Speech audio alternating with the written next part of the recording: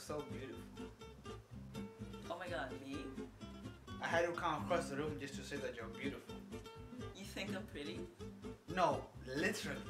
You're beautiful. No.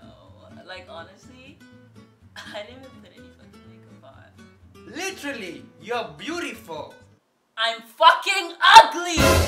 Listen, I am fucking up. Do you know what? I'm fucking disgusting! No, I'm actually fucking disgusting. Okay then, you fucking ugly. I take my compliment back. You ugly.